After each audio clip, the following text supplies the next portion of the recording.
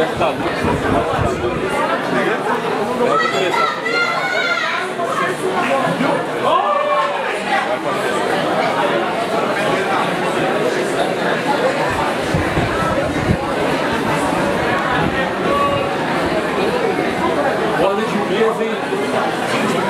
hein?